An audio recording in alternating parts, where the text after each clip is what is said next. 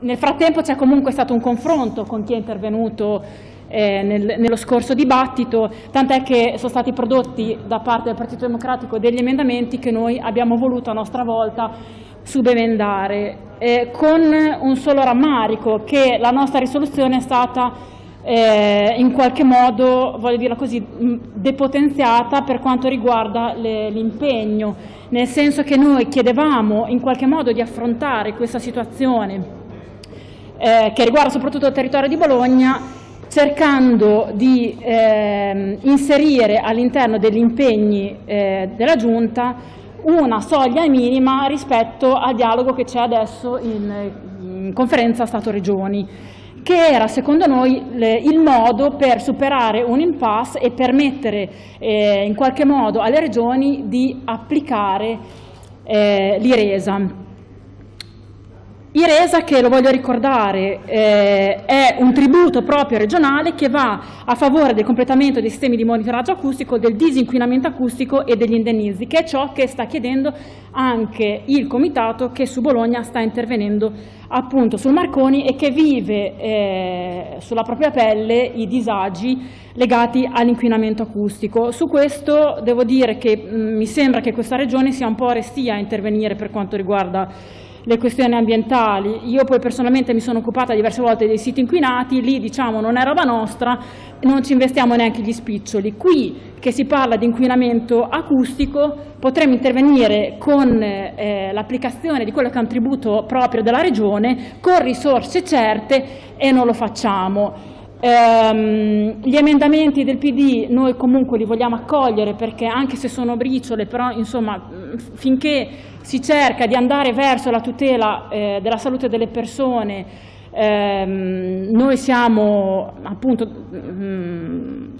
da questo punto di vista eh, siamo dalla parte dei cittadini, quindi qualsiasi cosa, anche se piccola, eh, va bene. Eh, però io devo dire la verità, non capisco francamente, oggettivamente, quali siano le difficoltà ad applicare come Regione questo tributo, perché lo ricordo eh, velocemente, il Marconi è un aeroporto che è in salute, eh, ha aumentato il proprio traffico rispetto al 2016 eh, del 23%, ha un utile netto del 7% raddoppiato rispetto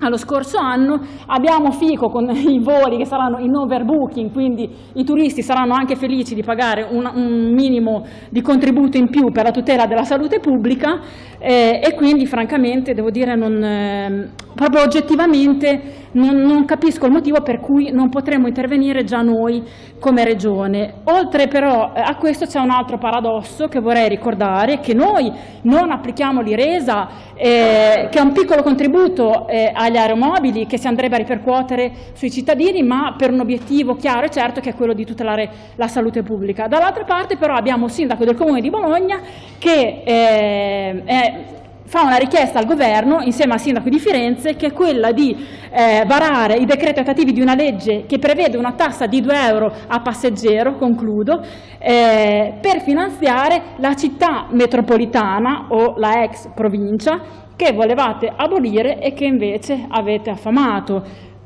Concludo dicendo con una notizia che eh, il 2 di novembre abbiamo imparato dal, dagli organi di stampa che la Regione Piemonte questa, ehm, questo tributo lo vuole applicare dal primo di gennaio. Quindi l'auspicio è che anche l'Emilia Romagna lo faccia. Noi eh, siamo intervenuti, interverremo con un emendamento, riproporremo la stessa la stessa proposta in sede di bilancio, avevamo una proposta di legge che però evidentemente non ci sono i, tempi per discuterla entro la fine dell'anno, quindi interverremo in sede di bilancio. Mi, mi, permetto solo un secondo di leggere le dichiarazioni della Presidente della Commissione dei Trasporti della Regione Piemonte, che sarebbe la nostra eh, Rontini eh, piemontese, che dice eh, che oggi la competenza... No, consigliera Piccini, lei può intervenire dopo sugli emendamenti, altri dieci minuti, quindi la invito a concludere adesso magari... Concludo velocemente. Eh, ha fatto come Taruffi, ha già detto tre volte concludo. Eh?